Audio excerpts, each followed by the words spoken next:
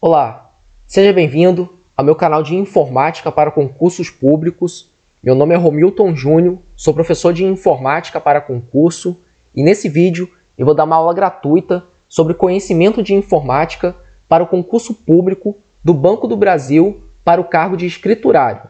Nessa sexta aula, eu vou falar sobre outro tema do edital na parte de informática, que é conceitos de organização e de gerenciamento de informações.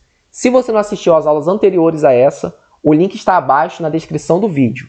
Se você quiser adquirir um pacote de provas anteriores da Banca 6 Gran Rio, é só entrar em contato comigo pelo WhatsApp, pelo telefone 022 998 58 7780. Se você não se inscreveu aqui no canal ainda, inscreva-se, ative o sininho de notificações para receber as notificações de vídeos novos que eu coloco aqui no canal. Curta o vídeo agora no início e compartilhe também nas suas redes sociais. As inscrições para o concurso começaram no dia 23 de dezembro de 2022 e vai até o dia 24 de fevereiro de 2023. A prova objetiva será no dia 23 de abril de 2023. Bom, na aula passada eu falei sobre proteção de estações de trabalho, firewall. Né? Eu falei sobre esse assunto aqui, firewall, e também sobre VPN. Agora, nessa aula, eu vou estar falando sobre o tópico 5 do edital, conceitos de organização e de gerenciamento de informações, arquivos, pastas e programas. Dentro desse assunto aqui, desse tópico 5, eu vou falar sobre tipo de arquivos, que é um assunto que eu observei nas provas anteriores que a SES Gran Rio cobra, tá? Então, em cada tópico aqui do edital, eu pesquiso lá nas provas anteriores o que a banca tem costume de cobrar, porque aquilo que já caiu anteriormente pode cair novamente de outra forma. Se você assistiu a aula passada, você viu que eu, que eu resolvi várias questões do meu, mesmo tema, que foi VPN, que é muito cobrado pela SES Gran Rio, e resolvi algumas questões também de firewall. Agora a gente vai falar sobre arquivos, os tipos de arquivos. Se você não assistiu às aulas passadas, o link vai estar abaixo na, descri na descrição do vídeo. Bom, eu vou falar nessa aula sobre tipos de arquivos. Aí eu, eu fiz uma tabela bem simples aqui, né? Para a gente entender é, sobre os tipos de arquivos, né? E como a gente, a gente pode identificar, como nós podemos identificar esses arquivos nas questões. Bom, quando você digita um texto, por exemplo, no Word, e você vai salvar aquele texto, é, vai aparecer uma janela para você, né? E você tem que colocar o nome do arquivo, o nome do documento, por exemplo, no Word. Aí vamos dizer que eu coloco lá o nome do arquivo, curso, curso, nome do arquivo. Se for, se eu tiver digitado esse texto no Word, por exemplo, 2019, 365, né? Ele vai ser salvo como curso.docx. Esse finalzinho aqui depois do ponto é a extensão do arquivo. É para identificar que tipo de arquivo eu vou abrir no computador, tá? Então a gente vai estudar as extensões, essas siglas finais para identificar o tipo de arquivo, beleza? E vamos resolver questões da FGV, da Cisgran Rio, né? E também da FGV, que tem questões similares à da Cisgran Rio. Então vamos lá, ó. extensões de texto, né? Aqui é, é um resumo, tá? Não coloquei todas as extensões que existem, coloquei um, a, as principais que são cobradas em provas, tá bom? Então vamos lá, ó. extensões de texto, ponto .doc, ponto .docx, que são extensões do Word, ponto .txt, que é do bloco de notas, ponto .rtf, que é do WordPad, ponto .pdf, que é do Adobe Reader, ponto .odt, que é do LibreOffice Writer, .csv, que é um arquivo de texto separado por vírgula. Extensões de imagem, .jpeg ou jpg, .gif, .png, .bmp, .tif com dois Fs ou um F só. Extensões de áudio, .mp3, .wave, .ogg, .acc, .wma. Extensões de vídeo, .mpeg ou mpg, .avi, .wmv e tem outras extensões também que não estão aqui, por exemplo, .mp4 é de vídeo também, entre outras, tá? Arquivo compactado aqui embaixo, ó, .ra e .zip, arquivo executável, .exe, .com, .cmd, .bat, página da internet, .html, arquivo do sistema, .dll e .sys.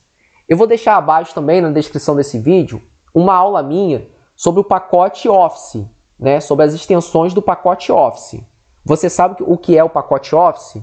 Se você não souber, eu vou te explicar. O pacote Office é o pacote de programas da empresa Microsoft, né, que tem os programas Word, Excel, PowerPoint, Access e Outlook.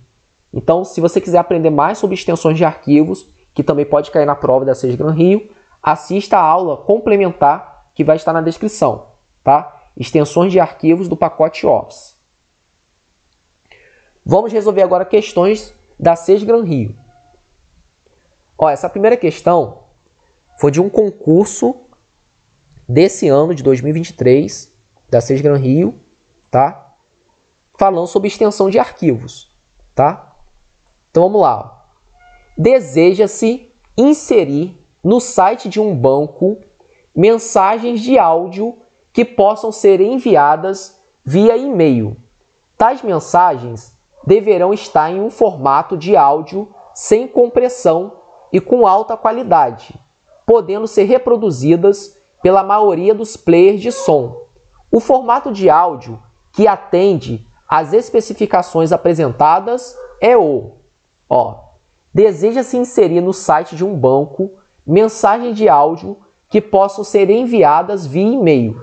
Tais mensagens deverão estar em um formato de áudio sem compressão e com alta qualidade, podendo ser reproduzidas pela maioria dos players de som.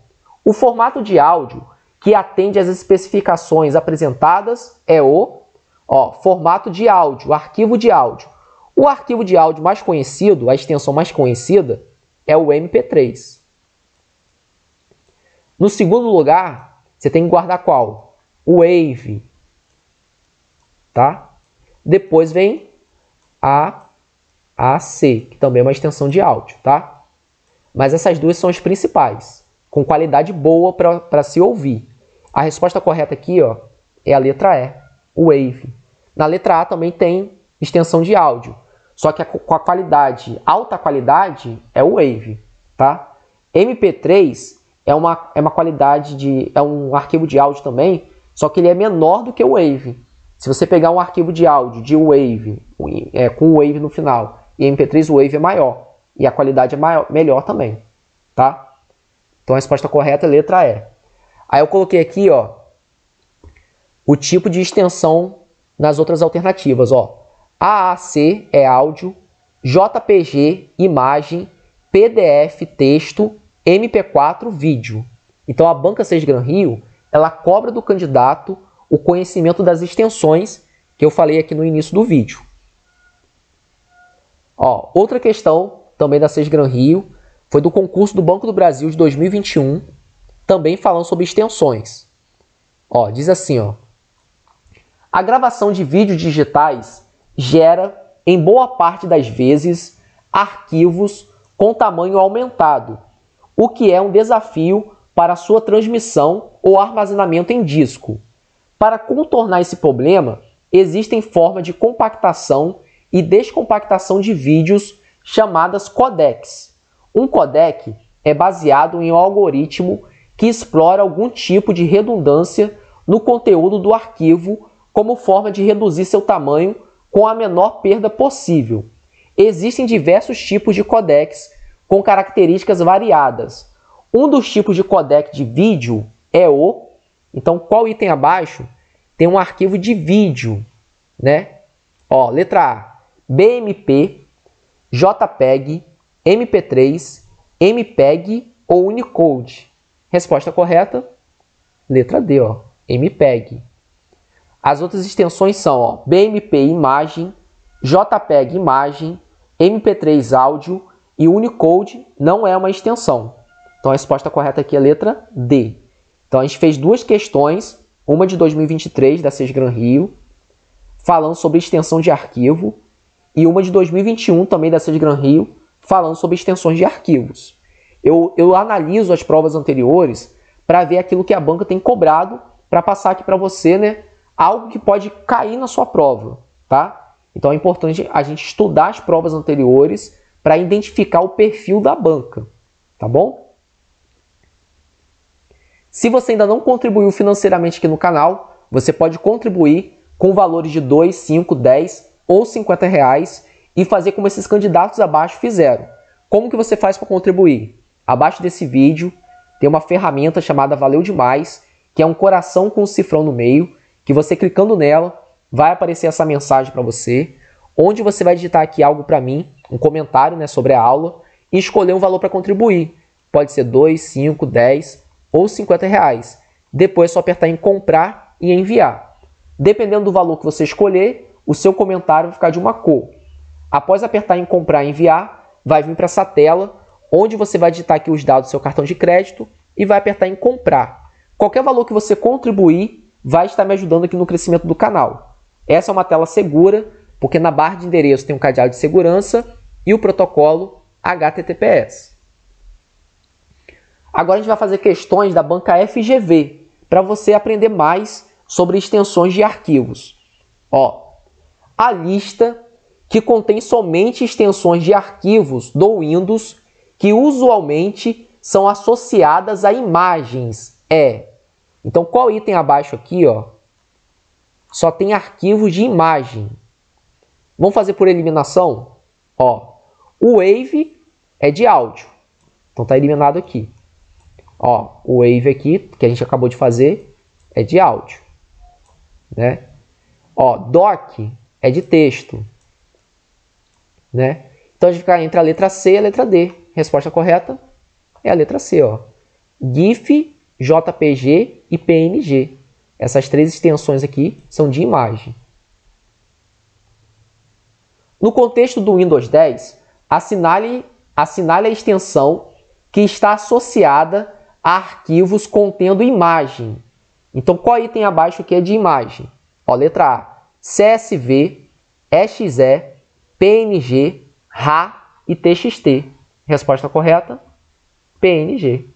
Ó, CSV é arquivo de texto separado por vírgula, EXE, arquivo executável, RA, arquivo compactado e TXT, arquivo de texto simples.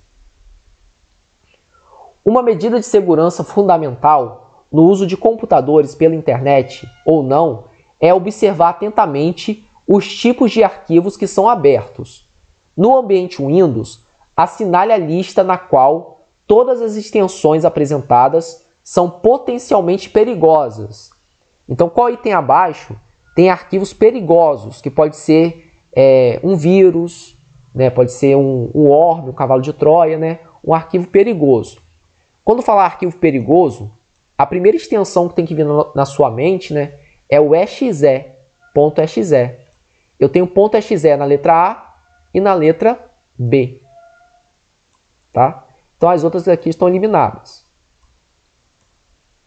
Porque o ponto .exe não, quer, não é que ele, ele seja um vírus sempre, sempre, né? ele pode ser um arquivo, um, um instalador, né? um, arquivo, um arquivo de um programa que vai ser instalado no seu computador. Mas também ele pode ser um vírus, um cavalo de Troia, que pode é, dar acesso a uma pessoa ao seu computador. Então tem que tomar cuidado na hora de abrir um arquivo .exe, tá bom?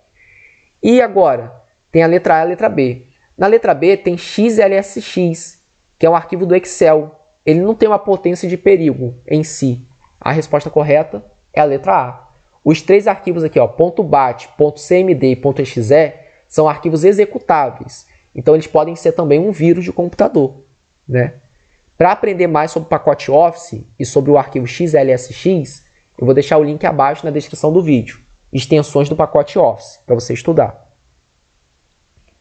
Computadores trabalham com arquivos com conteúdo distintos e é comum encontrar na internet sites que oferecem downloads no formato CSV. Arquivos desse tipo contêm primordialmente o que? aplicativos, áudio, imagens, texto ou vídeo. CSV é um arquivo de texto, separado por vírgula. Se você ainda não participa da minha comunidade, aqui no meu canal do YouTube, você vai na página inicial do meu canal, tem a guia Início, Vídeos, Playlists e Comunidade. Você clica aqui em Comunidade e abaixo vão ter várias questões de informática para concurso para você responder com gabarito nos comentários, enquetes e novidades sobre concurso público. Participe da minha comunidade e compartilhe também nas suas redes sociais. Se você gostou da aula, comente, compartilhe e inscreva-se no canal. Um grande abraço e até a próxima aula.